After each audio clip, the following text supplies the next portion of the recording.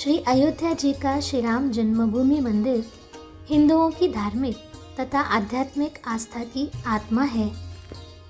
साढ़े पाँच सौ वर्षों के प्रदीर्घ संघर्ष के पश्चात आज हिंदू श्री राम जन्मभूमि मंदिर की पुनर्स्थापना के अलौकिक दैविक क्षण के साक्षी बने हैं। पाँच शताब्दियों तक चले इस संघर्ष का एक छोटा सा पड़ाव था। वर्ष 1990 एवं बानवे में लाखों हिंदू राम भक्तों द्वारा की गई कर सेवा अथवा कार सेवा। इस विशेष वीडियो सीरीज़ के माध्यम से हम कार सेवकों के अद्वितीय अनुभव प्रत्यक्ष सुनेंगे।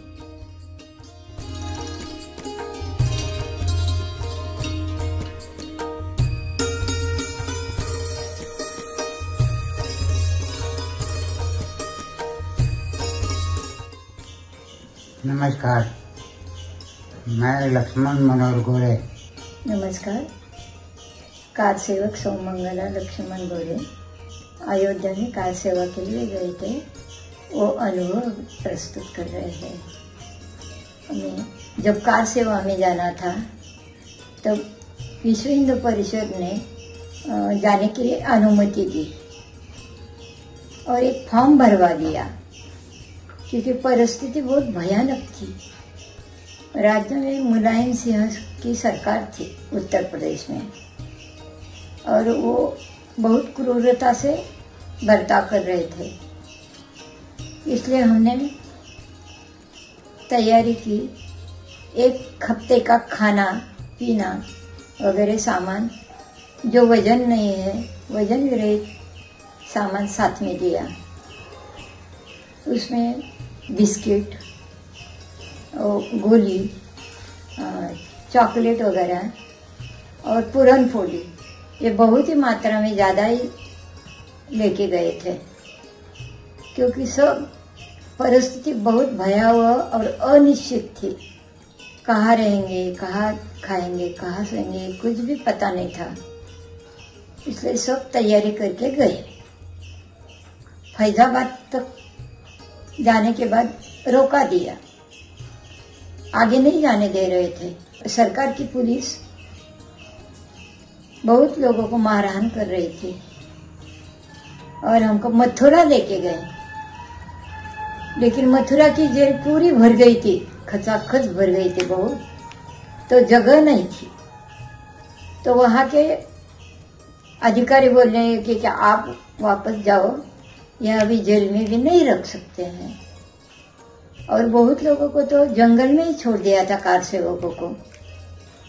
कुछ लोगों को रेलगाड़ी में भर के सुनसान जगह, जंगल में छोड़ दिया था। ऐसा करके उन्होंने हमें वापस भेज दिया और हम लोग आ गए वापस घर। उन्नीस में घर में तीन बेटियाँ थी, छोटी थी। और पिताजी के साथ उनको छोड़ के मैं अकेली कार सेवा के लिए गई थी। तब बाबरी ढांचा गिराना है, यही उम्मीद सबके मन में थी। अब सब इतने आनंद में थे कि अब राम मंदिर का निर्माण होगा, ढांचा गिर जाएगा।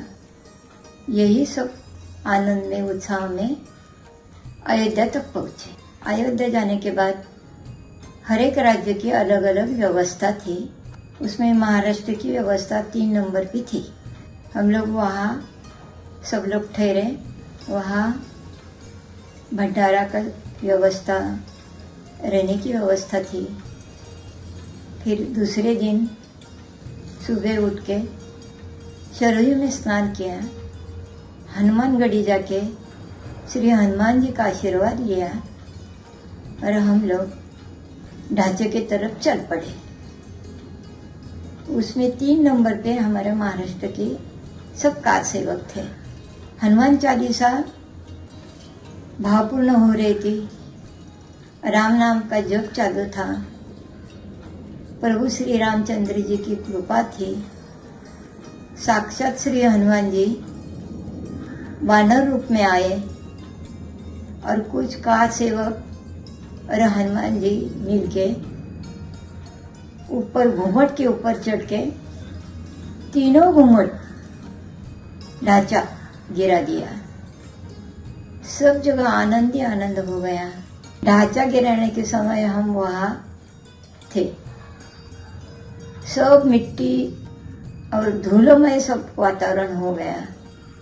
कोई किसी को नहीं पहचान रहा था। इतना सब धूल और मिट्टी बिखर गई थी। ढांचा गिरते ही वहाँ जो प्रभु श्री राम जी की मंदिर के जो सामान थे, वो सब मिलना शुरू हो गए। फिर तो सबको तो बहुत ही आनंद हुआ कि हमें ये भी मिल गया, पुरावा भी मिल गया। उसमें वस्त्र थे श्री राम जी के, संदूक, घंटा, पूजा साहित्य। न जाने बहुत ही सामान था। तो वो सामान लेने के लिए हम सब लाइन में खड़े होके एक निश्चित जगह वो सब सामान रख दिया। जब कार सेवा के लिए अयोध्या गए थे तब तो वहाँ रैपिड एक्शन फोर्स थी। वो, वो गाड़ी पे तीन जन बैठते थे एक गाड़ी चलाने वाला और दो बंदूकधारी। दोनों तरफ़ बंदूक रख के वो डरा रहे थे लेकिन हम कोई डरने वाले नहीं थे। सब आनंद में थे कि कुछ भी हो, अब तो मंदिर ही बनवाना है। और सब घोषणा होती, मंदिर वही बनाएँगे। हर एक के दिल में वही चाहत थी। तब प्रभु रामचंद्र जी ने ढांचा गिरा के हमें बहुत ही आनंद दिया। अयोध्या में वातावरण बहुत ही आनंददायी था। आजू बाजू के गाँव के लोग हमारे खाने पीने की व्यवस्था कर रहे थे, बहुत मदद कर रहे थे। गवर्नमेंट के लोग भी मदद कर रहे थे। तब यूपी में उन्नीस सौ बयानवे में कल्याण सिंह सरकार की सत्ता थी। भगवान श्री राम ने वातावरण अनुकूल ही बना दिया था। इसलिए हम लोग सब कृतज्ञता व्यक्त करते हैं। और हमारा सपना भी पूरा हो रहा था। उसके लिए बहुत कार सेवकों का बलिदान मुलायम सिंह सरकार के काल में हुआ था। वो भी दुख हमारे मन में था, लेकिन वो दुख हमने पचा दिया। और हम थोड़ा व्यथित मन से घर पे आए और राम मंदिर निर्माण के लिए अब क्या करेंगे? इसके विचार में रहते थे। तो ये सब न्यायालय में खटला प्रविष्ट हुआ। उसकी सुनाई हो रही थी। और कितने धर्मद्रोही ये मंदिर न होने के लिए प्रयास कर रहे थे और राम भक्त मंदिर बनाने के लिए प्रयास कर रहे थे। सबके मन में यही पूरे भरोसा था। कि श्री राम जी मंदिर बनाएँगे ही। और वो सब आज राम मंदिर निर्माण हो गया। उसके प्राण प्रतिष्ठा सोलह भी हो रहा है। और घर घर में हर एक गाँव में राम मंदिर निर्माण के आनंद के लिए दिवाली जैसी मना रहे हैं। 92 से 23 तक राह देखनी पड़ी। बहुत ही मन में था कि कब होगा कब होगा। मेरी उम्र 75 साल की है। मैं मन में सोच रही थी कि मुझे राम मंदिर बन रहा है, ये सब देखने को मिलेगा कि नहीं? ये भी था।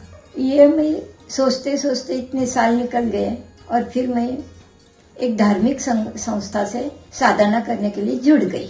और इसका लाभ अगली पीढ़ी के लिए, राम भक्त बनने के लिए बहुत ही प्रेरणादायी होगा। और सब हिंदू के मन में इच्छा है, जैसे श्री राम जी की मंदिर ये हुई छुट्टी हुई और राम मंदिर बन गया।